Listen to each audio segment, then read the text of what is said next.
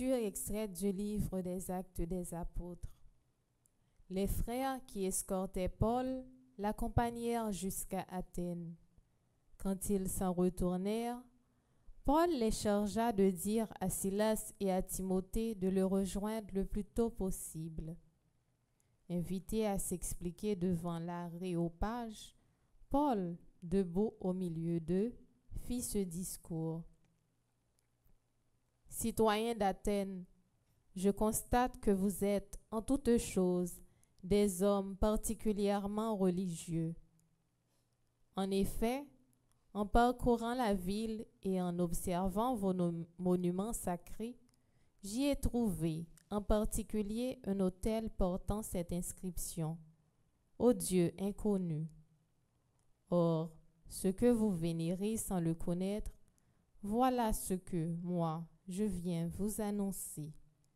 Le Dieu qui a fait le monde et tout ce qu'il contient, lui qui est le Seigneur du ciel et de la terre, n'habite pas les temples construits par l'homme et ne se fait pas servir par la main des hommes.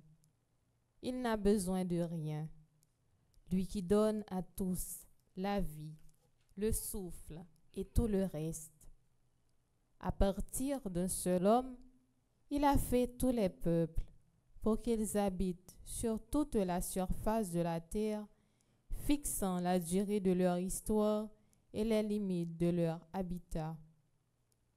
Il les a fait pour qu'ils cherchent Dieu et qu'ils essaient d'entrer en contact avec lui et de le trouver, lui qui, en vérité, n'est pas loin de chacun de nous.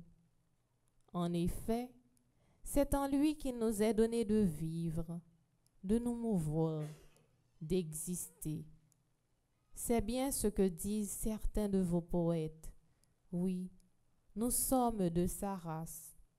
Si donc nous sommes de la race de Dieu, nous ne devons pas penser que la divinité ressemble à l'or, à l'argent ou à la pierre travaillée par l'or et l'imagination de l'homme.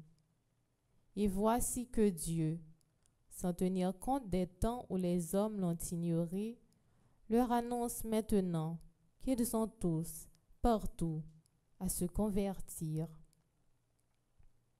En effet, il a fixé le jour où il va juger l'univers avec justice par un homme qu'il a désigné. Il en a donné la garantie à tous en ressuscitant cet homme d'entre les morts. Quand ils entendirent parler de résurrection des morts, les uns riaient et les autres déclarèrent, Sur cette question, nous ne t'écouterons une autre fois.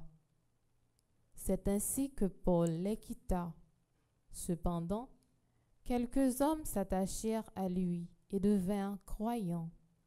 Parmi eux, il y avait Denis, membre de l'aréopage. Il y eut aussi une femme nommée Damaris et d'autres avec eux. Après cela, Paul partit d'Athènes pour se rendre à Corinthe. Parole du Seigneur. Nous rendons grâce à Dieu. Les cieux fermés.